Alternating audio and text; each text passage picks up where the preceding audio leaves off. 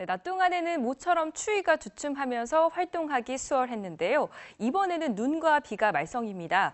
특히 주된 눈구름이 중북부 지방에 집중되면서 밤사이 많은 눈이 내리겠습니다.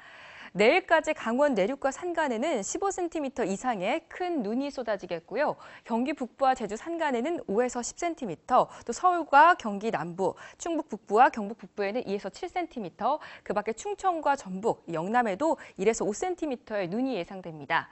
이 눈과 비는 내일 오전에는 대부분 그치겠습니다. 눈비가 그친 뒤에는 고기압의 영향권에서 전국이 맑겠는데요. 하지만 문제는 찬바람입니다. 눈구름의 뒤를 따라 북서쪽에서 찬 공기가 내려오면서 다시 강추위가 찾아오겠습니다. 내일 서울 낮 기온이 1도로 아침 기온과 큰 차이 없겠고요. 바람 때문에 체감 온도는 종일 영하권에 머물겠습니다. 특히 모레 서울 아침 기온이 영하 9도까지 내려가면서 추위 기세는 더 거세지겠습니다.